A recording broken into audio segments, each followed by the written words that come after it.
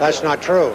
We have exhibition baseball, spring season and baseball are exhibition, and they go out there to win. And uh, the uh, so that definition of a predetermined winner is a lot of baloney. It's not true.